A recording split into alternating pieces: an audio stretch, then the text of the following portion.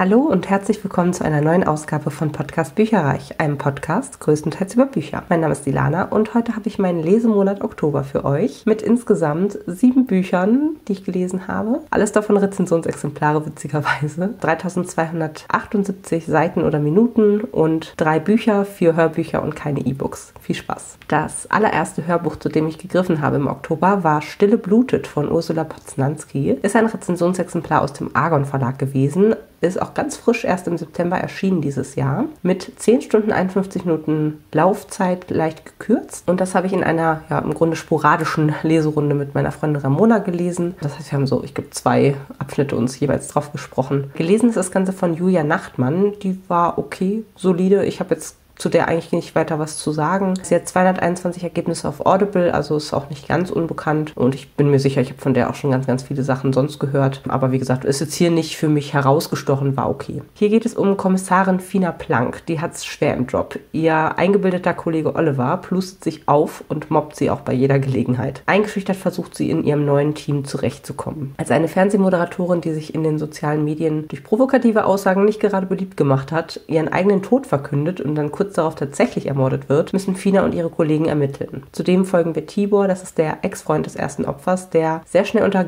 Verdacht gerät, weil er durch Zufall sowohl seine Ex nach dem Mord auffindet, als auch bei der Wohnung des vermissten Opfers Nummer 2 anzufinden ist. Hat er was mit den Morden zu tun? Es hat mir wieder sehr viel Spaß gemacht, mal einen Thriller zu lesen. Posnanski bringt hier routiniert interessante Fälle und gut skizzierte Charaktere aufs Papier. Ein bisschen genervt war ich davon, wie sehr sie darauf herumgeritten hat, dass die Protagonistin pummelig ist ist. Das kam irgendwie bestimmt fünfmal. Trotzdem bin ich gespannt, wie es mit der Protagonistin weitergeht und ob sie sich behaupten kann, denn das ist nämlich der Auftakt zu einer neuen Reihe. Band 1 endet, finde ich, auch mit einem echt fiesen Cliffhanger, der sich auf den zweiten Mörder bezieht, der hier noch eine Rolle spielt. Ich fand insgesamt auch die Auflösung total plausibel und ich behaupte auch, also trotz dessen, dass ich mitgerätselt habe, war es eigentlich dem Leser nicht möglich, auf die Lösung zu kommen. Das sorgt dann natürlich auch für Spannung. Insgesamt von mir für dieses Buch vier Sterne und hier kommt ein kleiner Ausschnitt für euch.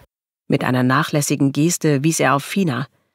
Das hier ist unsere Neue in der Mordgruppe. Sie heißt Plank, fiel Fina ihm ins Wort, bevor er wieder ihren vollständigen Namen zum Besten geben konnte.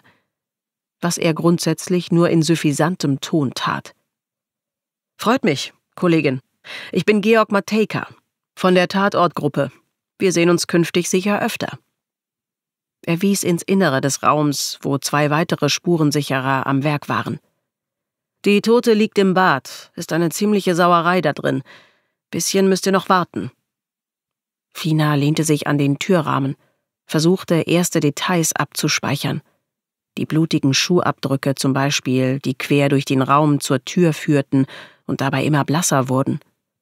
Die Lache Erbrochenes vor der Couch eine Damenhandtasche, die an einem Wandhaken hing, den farbigen Streifen nach wahrscheinlich von Gucci.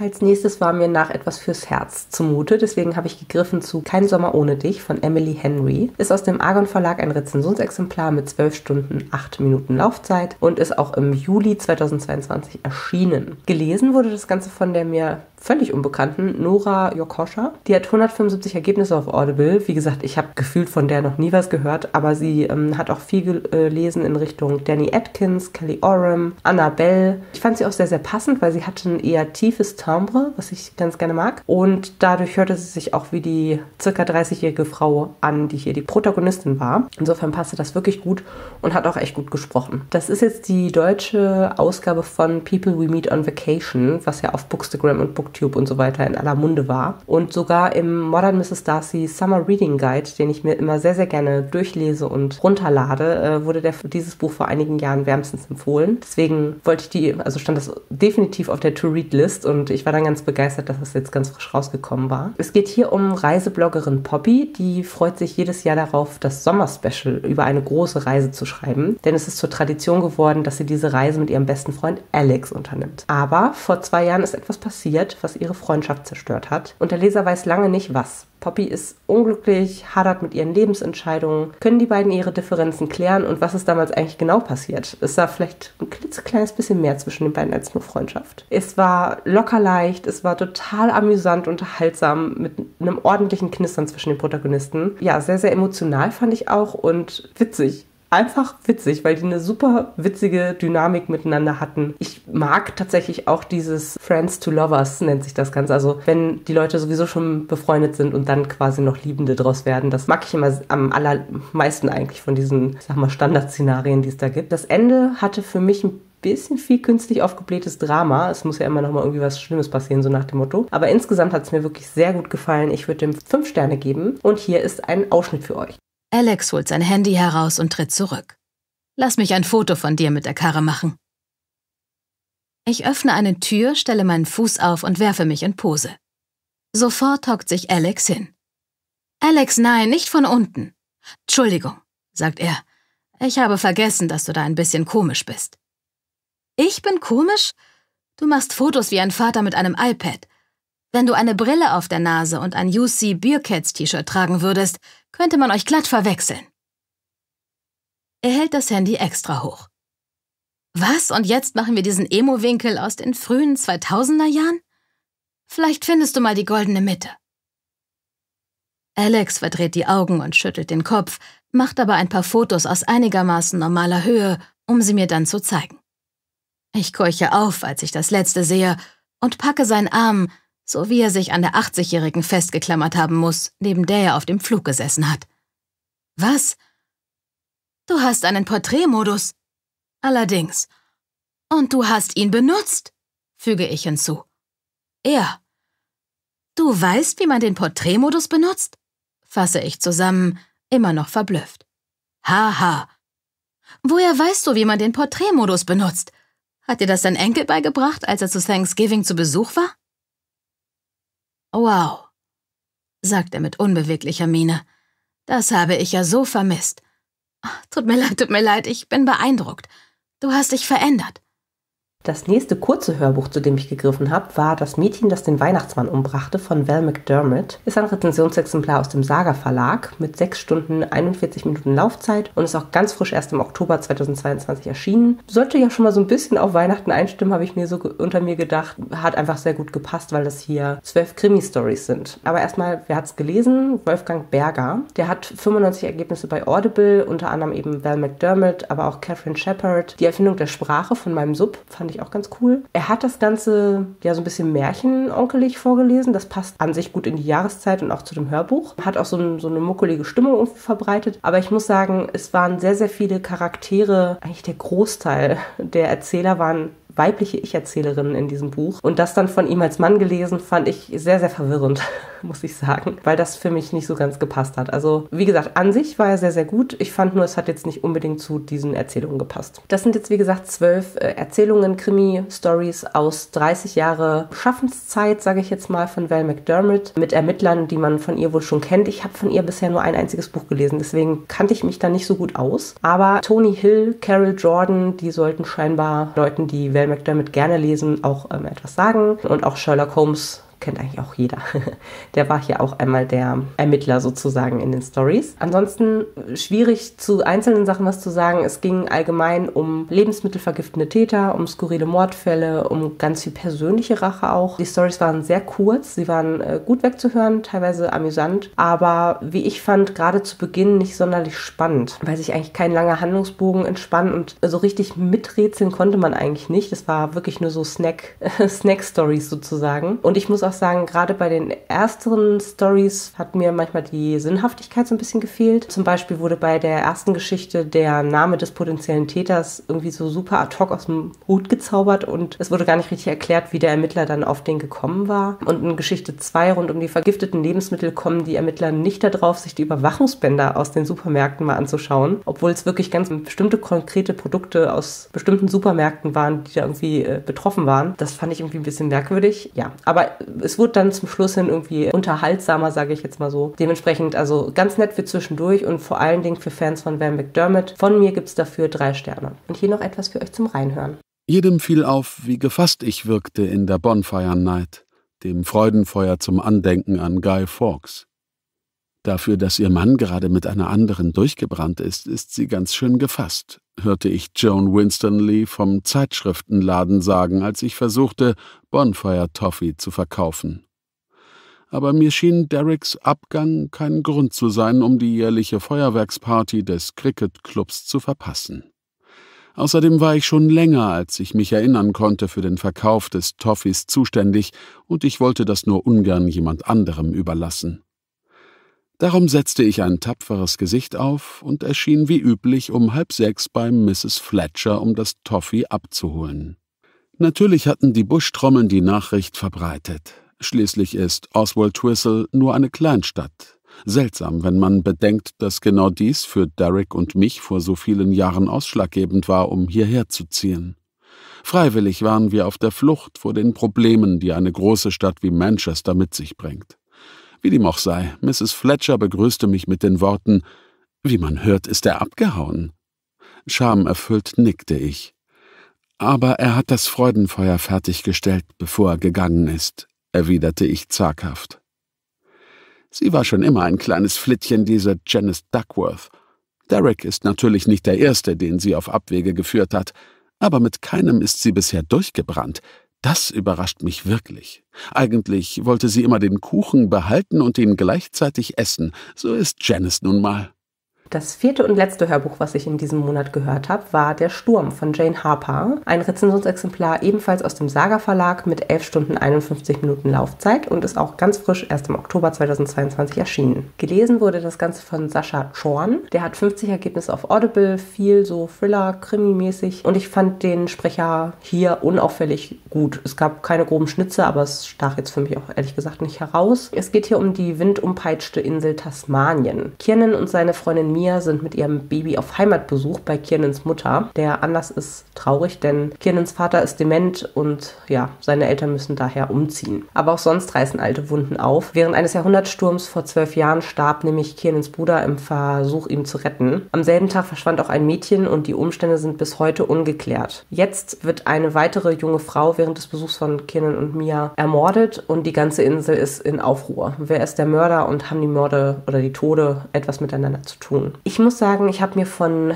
Jane Harper ein bisschen mehr erwartet. Ihr Buch The Dry habe ich total verschlungen. Ich fand das wahnsinnig atmosphärisch. Es war spannend. Es war tatsächlich trotzdem ein Slowburn damals schon, aber also es hat mir sehr, sehr gut gefallen. Und hier haben wir auch einen Slowburn mit viel Atmosphäre, gar keine Frage. Aber halt eine ganz andere, logischerweise, als die von The Dry, wo einfach Australien von einer riesen Dürre geplagt wird. Aber für mich war der Sturm einfach ein bisschen zu langsam erzählt. Gerade im Mittelteil zog es sich für mich und es wurden so viele falsche Fährten gelegt.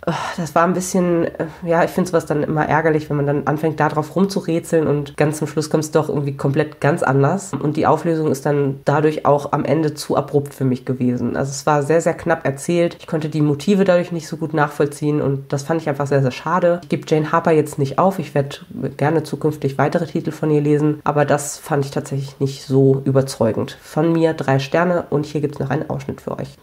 Kieran sah, wie Liam sich aus der Durchreiche lehnte.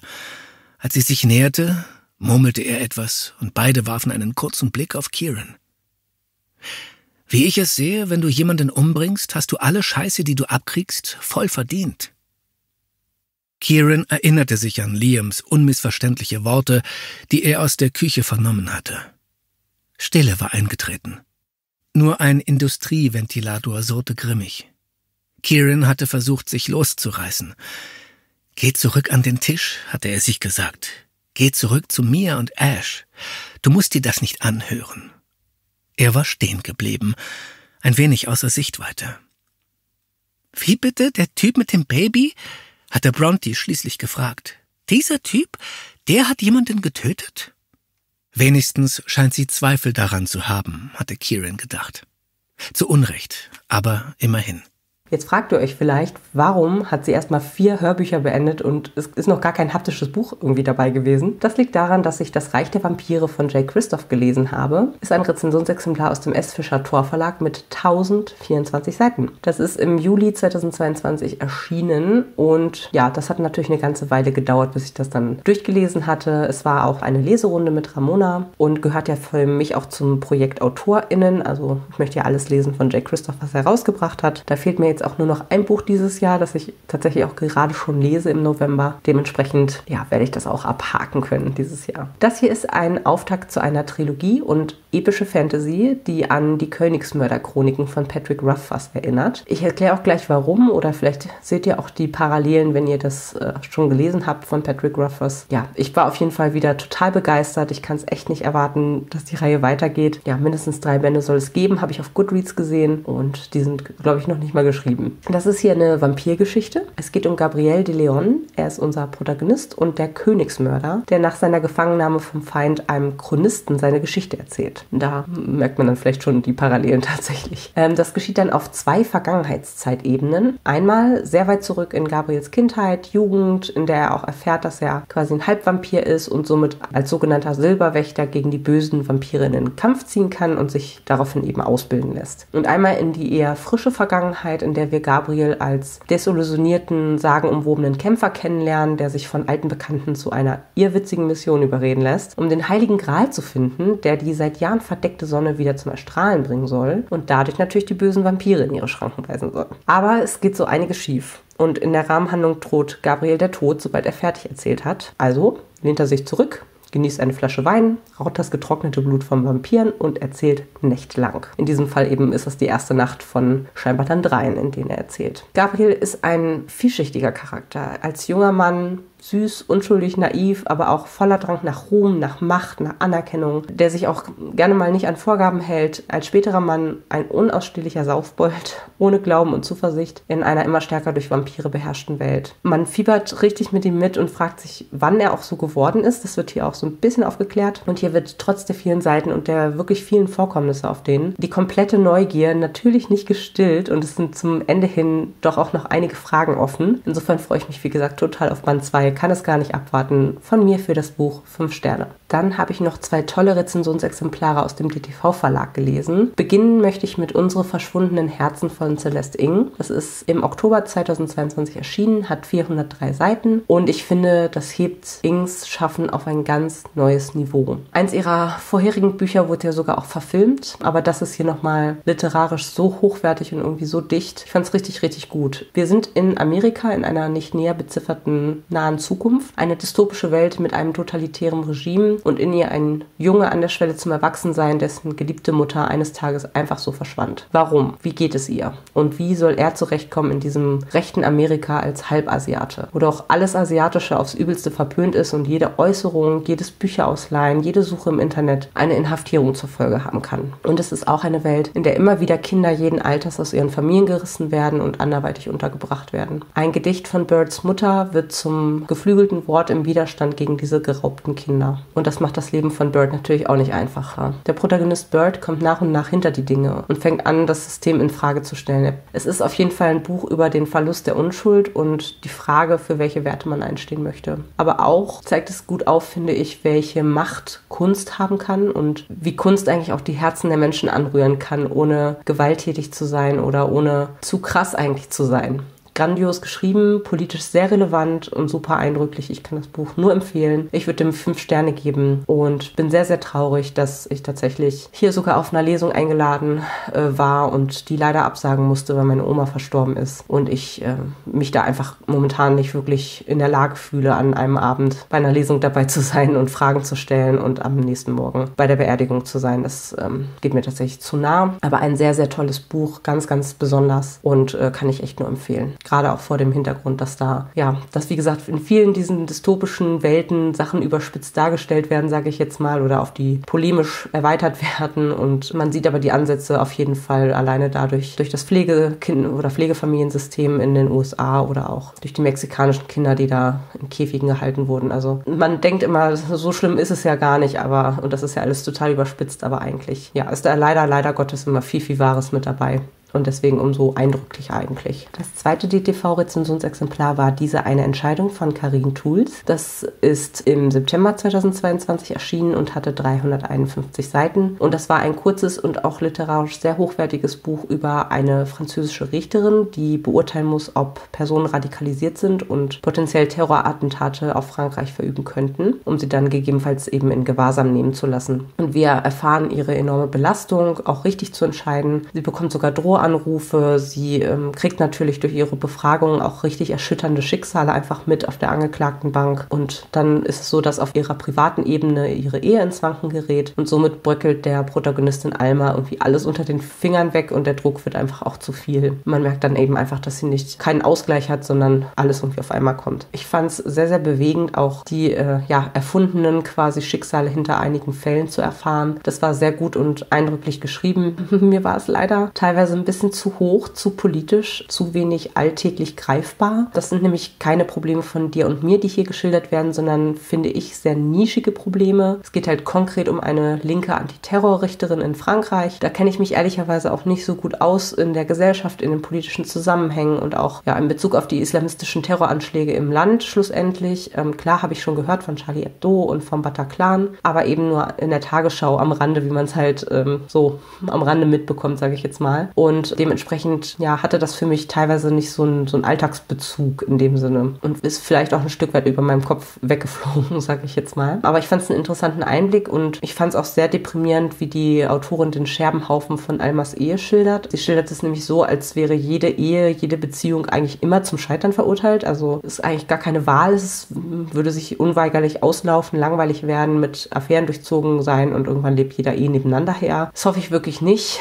Gleichzeitig ist das sicherlich die Lebensrealität von etlichen Personen, gar keine Frage. So deprimierend es auch war, war es auch sehr nachvollziehbar und auch sehr wahrhaftig irgendwie geschildert und ich hatte dadurch dann eben ja sehr starkes Mitleid auch mit der Protagonistin schlussendlich. Spannend fand ich auch, dass Almas Verhalten und Aussagen teilweise ganz anders waren als ihre Innensicht. Also was sie innerlich so dazu denkt und was so ihre Motivatoren vielleicht auch waren. Sie möchte irgendwie immer stark wirken, sich keine Blöße geben und sagt dann ganz oft nicht, was sie eigentlich bräuchte. Als Leserin bekommen wir das halt mit, weil wir dann ihre Innensicht wiederum dazu kennen, aber sie verhält sich ganz anders, als sie, wie gesagt, von innen das Ganze dann vielleicht kommentiert oder sieht. Und auch das trägt dazu bei, dass ich echt Mitleid mit ihr hatte und das richtig tragisch als Figur fand, dass sie einfach gar nicht richtig sagen kann, was sie möchte. Ja, einfach ein sehr verzwicktes Leben, in das sich einmal da manövriert hat das wirkte alles sehr, sehr festgefahren. Das war sehr, sehr ergreifend. Und wie gesagt, dann geht es eben auch um eine, eine ihrer Entscheidungen, die sie dann da äh, bereut, schlussendlich. Von mir für dieses Buch vier Sterne. Ja, ich hatte es vorhin schon gesagt, ich habe 3278 Seiten und Minuten gelesen und gehört diesen Monat. Das waren insgesamt sieben Bücher, drei Bücher, vier Hörbücher, keine E-Books. Und bei meinem Lesevorhaben ist eigentlich nur eine Sache weitergegangen und zwar ein Buch aus dem Projekt AutorInnen, nämlich Das Reich der Vampire von Jake Christoph. Ich habe keine Reihe weitergelesen und auch keine Titel aus 12 für 2022. In dem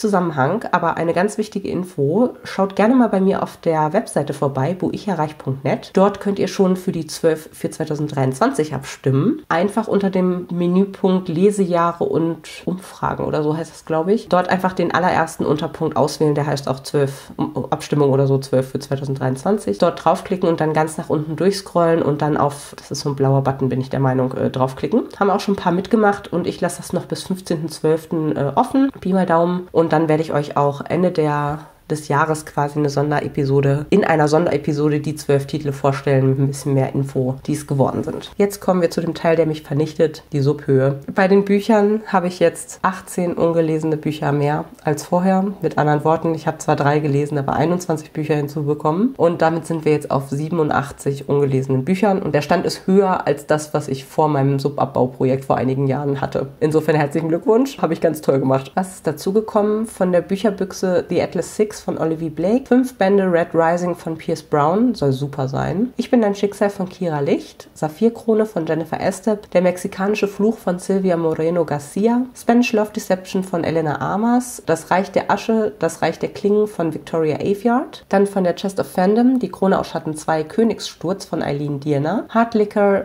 und Spicy Noodles von Marie Grashoff, Der dunkelste aller Zauber von Margaret Rogerson, Aurora von Caroline Brinkmann. Dann hatte ich noch eine Vorbestellung mit farbigem Buchschnitt, und zwar Banshee Blues von Nina Blason, Blason, ich weiß nicht genau, wie man sie ausspricht, sowie kurzfristig zugelegt Emily Seymour, Totenbeschwörung für Anfänger von Jennifer Alice Jager. Und was auch eingetroffen ist, ich auch vorbestellt, ist nicht mit Farbschnitt, das kleine Bücherdorf Nummer 1 Winterglitzern von Katharina Herzog. Das ist von der Buchhandlung Graf bestellt und somit eine signierte Ausgabe ohne, wie gesagt, farbigen Buchschnitt. Die Variante mit Farbschnitt hätte es, bin ich der Meinung, in einem Adventskalender gegeben, bei dem mich aber die anderen enthaltenen Bücher nicht so angesprochen haben. Deshalb habe habe ich das dann ja, einfach so bestellt. Und dann habe ich noch ein Rezensionsexemplar erhalten und zwar Lost Life von Jay Christoph. Das ist der Band 2 aus der Das Babel-Projekt-Reihe. Bei den Hörbüchern bin ich bei Plus Minus Null rausgekommen diesen Monat. 104 ungelesene Hörbücher. Ich habe nämlich vier gehört und vier dazu bekommen. Die neu hinzugekommenen sind Achtsam Morden im Hier und Jetzt von Carsten Düss und zwei Rezensionsexemplare, nämlich Wer die Nacht malt, The Lost Crown von Jennifer Benkau und Beschütze sie von Laura Dave.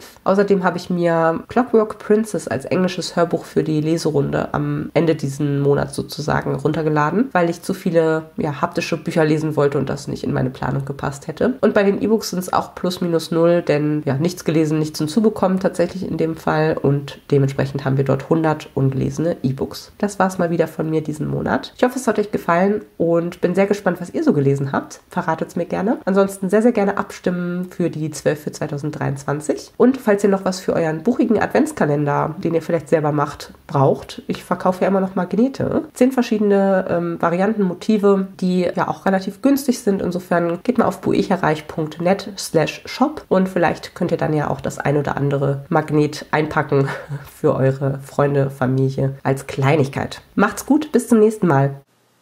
Informationen zu allen Büchern, über die ich heute gesprochen habe, findet ihr auf meiner Website www.bücherreich.net mit UE.